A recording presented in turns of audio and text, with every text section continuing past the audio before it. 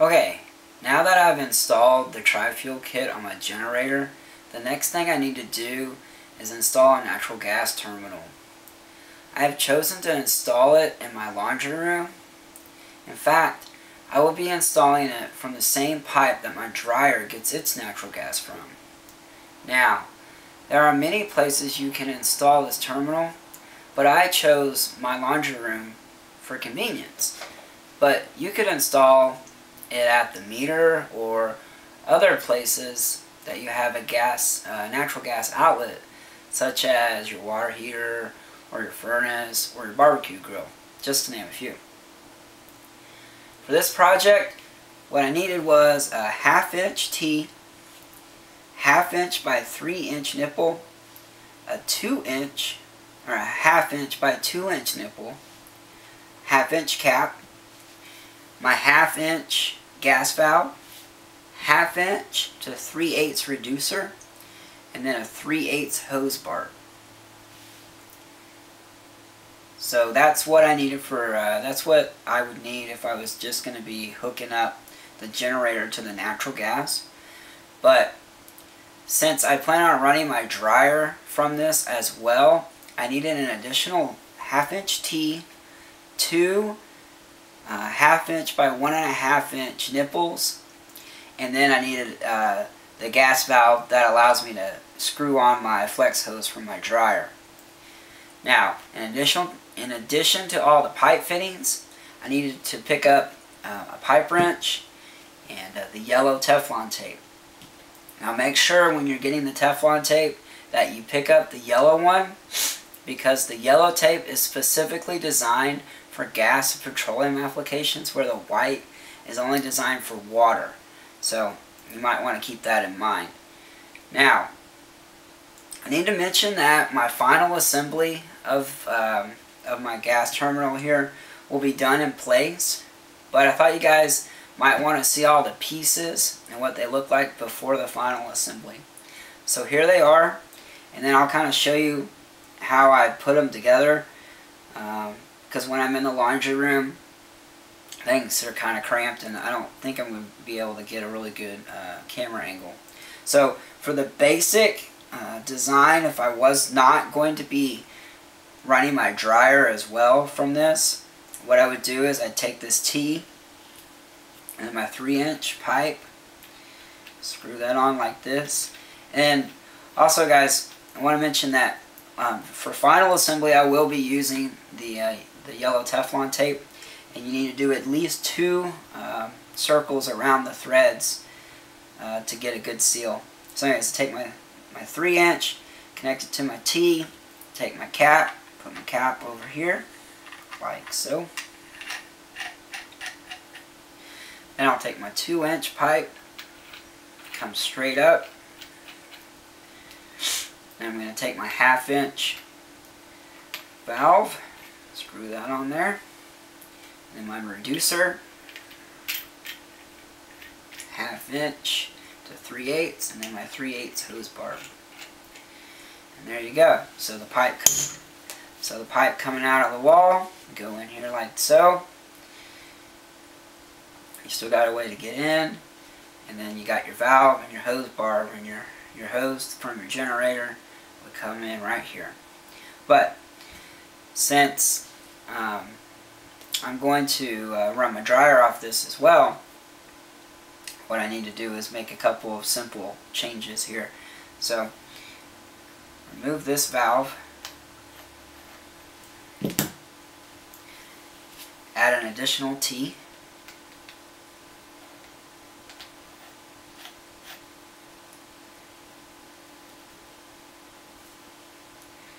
And then uh, my one and a half inch nipple here, my other one and a half inch nipple there, put my dryer valve up here on the top,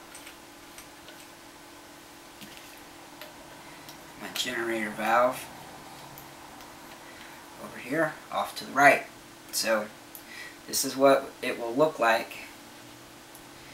So the pipe coming out of the wall, go into here, and that's what we'll. Alright, so here's what it looks like. next thing I need to do is go make some room in the laundry room and uh, go turn off the natural gas and we'll get this installed. Alright, now I'm at the natural gas uh, meter and what I need to do now is turn off the natural gas to the house. And in order for me to do that, what I need to do is turn this valve right here 90 degrees. So I'll put my wrench on there, turn it 90 degrees. Now the natural gas should be shut off to the home. And uh, now it's time for me to head to the laundry room to install the natural gas terminal for the generator. Now that we're in the laundry room, it's time to go ahead and assemble the natural gas terminal. The first thing I need to do is take this cap off. Let's go ahead and do that.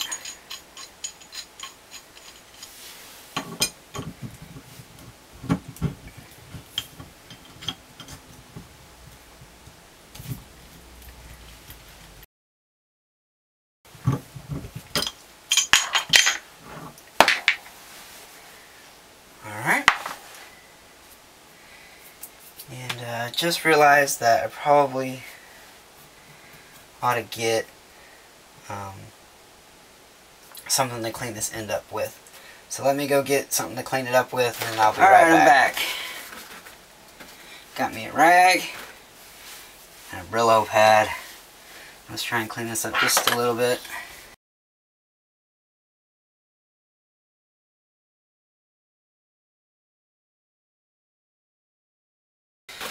Now that's cleaned up, let's go ahead and start uh, putting my assembly together here. Alright, so the first thing I need to do is put this T on.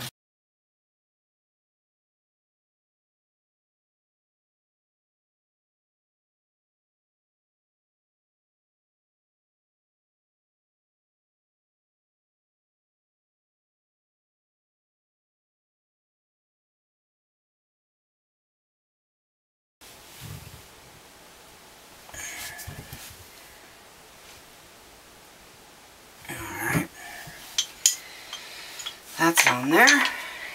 Now we're going to do uh, this uh, half inch by one and a half inch nipple.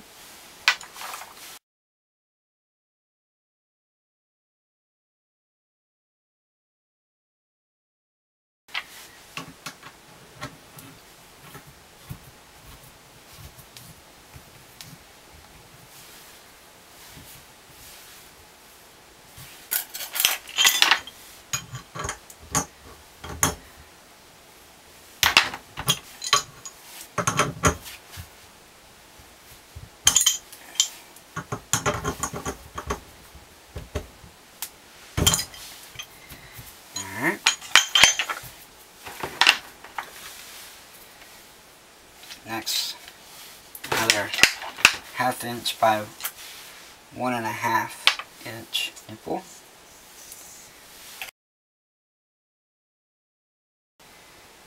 Alright, next is going to be this T right here.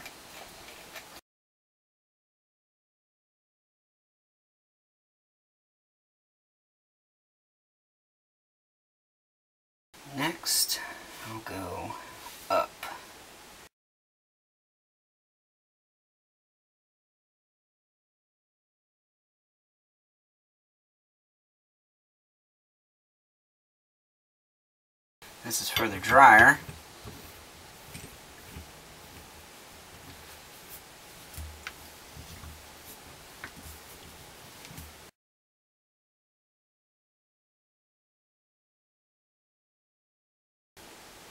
Alright, next we're going to go with the generator attachment.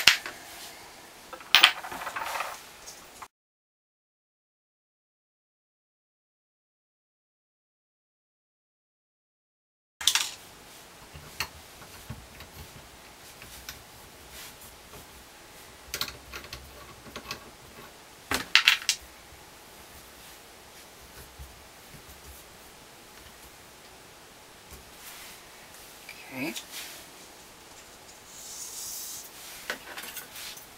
Now the reducer.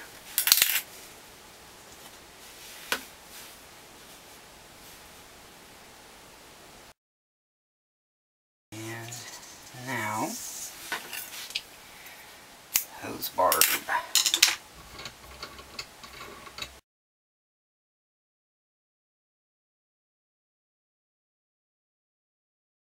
Okay now I wanna straighten everything up so it looks nice and neat, and then I want to tighten everything up. So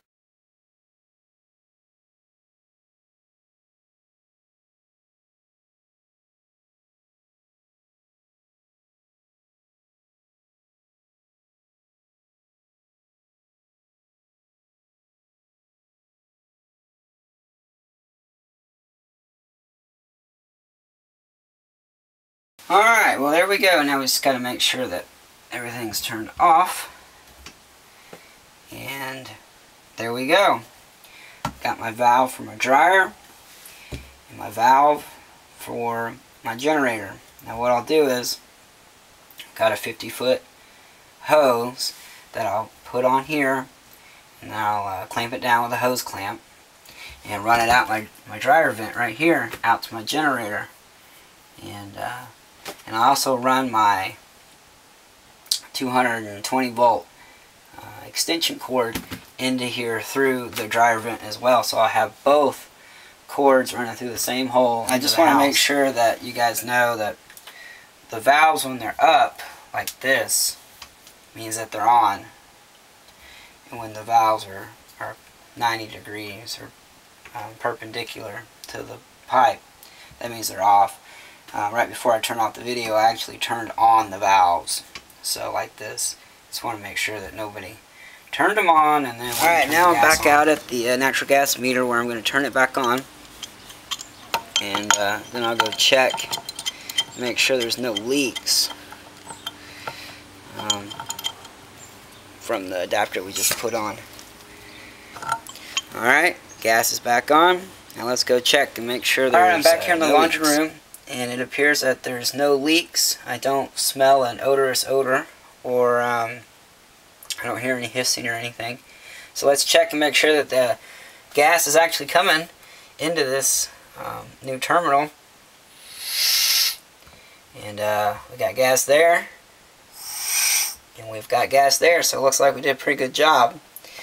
Now, last thing I just want to mention is um, that I need to remember to go and relight all the pilot lights for all of my gas appliances, such as my furnace and my hot water heater and uh, my dryer. So, anyways, that's all I got for you guys.